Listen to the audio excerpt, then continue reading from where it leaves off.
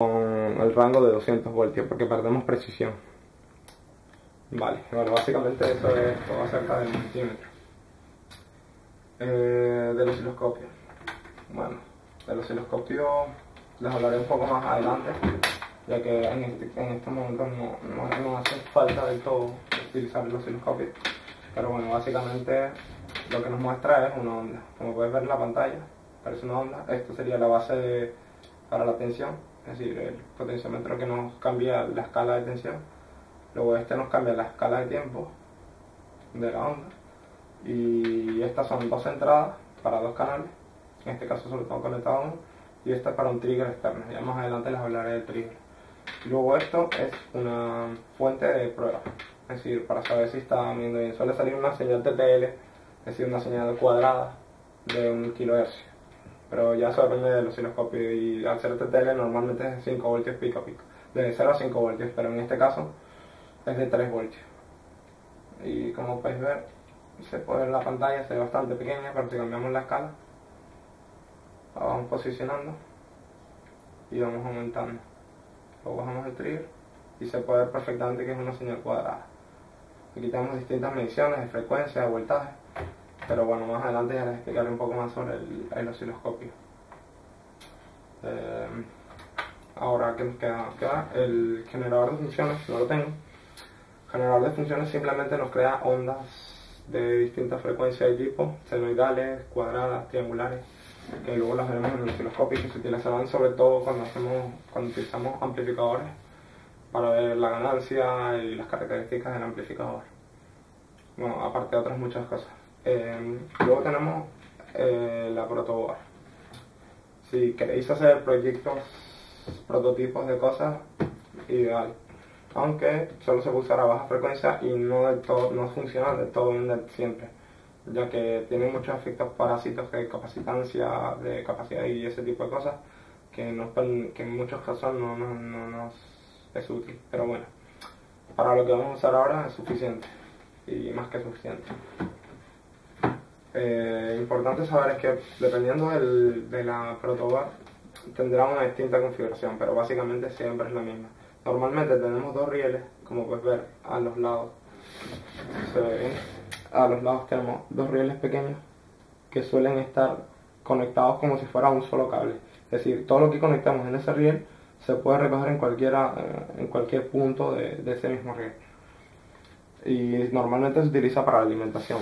Puede ser positivo o negativo, negativo o positivo, ya eso depende de cada uno. Y de ahí tomamos la alimentación para el resto de cosas, de componentes que pondremos en, los demás agujeros.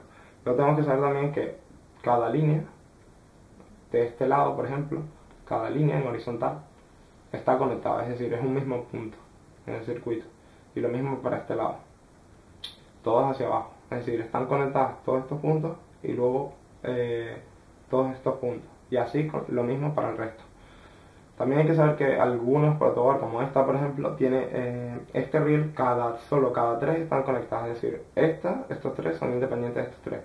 Por lo cual yo normalmente los puenteo cuando me hace falta y listo. Y también aquí arriba. Esta especial normalmente no, bueno, normalmente depende de la protoboard, pueden venir o no con esto. Esto es para conectar la alimentación y de aquí surtir al resto de los circuitos que básicamente eso, toda la línea de arriba es una misma línea, es decir, un mismo punto, toda la línea de abajo otro punto, hasta la W. Esta, no sé si se verá, pero bueno, en cualquier caso, si separas de la W eh, de aquí para acá es completamente distinto y sigue el mismo principio. Todas las líneas están conectadas las arriba y todas las líneas de abajo están conectadas. Y bueno, básicamente eso. Luego tenemos también cosas ya un poco fuera de lo que es prototipo. Bueno, sí, esto, esto sería el equivalente a la protoboard, pero para ah, cuando tenemos ya el circuito hecho. Es decir, esto es una, una placa perforada, esta la venden, la puedes comprar por eBay, la puedes comprar cualquier tienda electrónica. Es una placa perforada para los prototipos. Luego tenemos también la placa fotosensible, que ahora mismo no tengo ninguna, pero que sirve para del mismo modo que esta, pero es bastante más profesional y más... todo bastante mejor. Luego tenemos también, imprescindible, un soldador. Este es el soldador con un,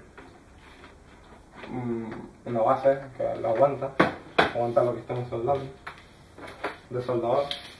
Yo muchos de los componentes que utilizo para los proyectos los saco de cualquier cosa que encuentre, desde televisores, radios, cualquier cosa que yo electrónicamente posee muchos componentes que si vamos a hacer algún proyecto que no nos interesa tener fiabilidad porque es algo que simplemente vamos a probar y para experimentar pues podemos sacar componentes de muchos electrodomésticos que tenemos por ahí que estén dañados y de ese tipo de cosas, LEDs y todo ese tipo de cosas que podemos usar. Y bueno, básicamente eso. También tenemos, el pelacable, por ejemplo, que es bastante útil en ciertas ocasiones, pero que no son imprescindibles, vamos. Y básicamente esos son los instrumentos que utilizaremos en, en estos tutoriales y que normalmente son los más útiles o principales, por ejemplo, por decirlo así. Y bueno, eso es todo por ahora y espero que sigan viendo el resto de tutoriales. Hasta luego.